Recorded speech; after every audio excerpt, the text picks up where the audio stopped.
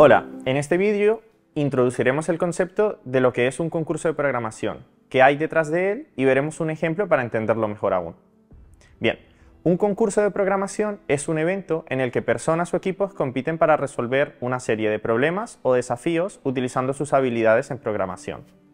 La idea principal es que los participantes escriban un programa en un lenguaje de programación específico que solucionen estos problemas en el menor tiempo posible y con la mayor eficiencia. A día de hoy existen una gran variedad de concursos de programación, enfocados para diversos niveles de programación, dirigidos a distintas ciudades, además de que pueden variar en su escalabilidad, siendo algunos a nivel regional, como es el ejemplo de Ada Byron, a nivel nacional, como es el ejemplo de las Olimpiadas Informáticas Españolas, o incluso a nivel internacional, como las Olimpiadas Internacionales de Informática.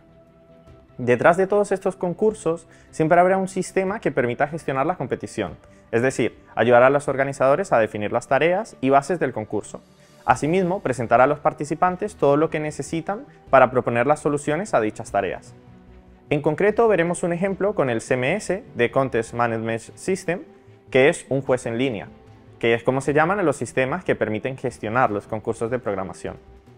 En el sistema podemos acceder como administradores, que serán quienes organicen el concurso, o como participantes.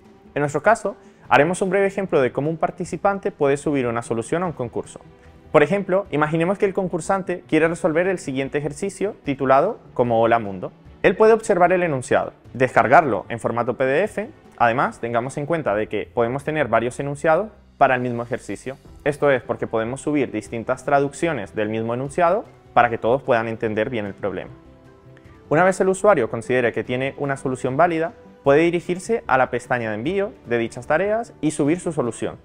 Si todo ha salido bien, se le indicará al usuario los tests que han pasado correctamente y por ende la puntuación obtenida para dicho ejercicio. Si ha pasado todos los tests, podrá ver cómo le indica que todos han sido pasados. Si algunos fallasen, podrá también ver eh, en qué ha fallado y según cómo esté configurado el concurso, ver el error en concreto.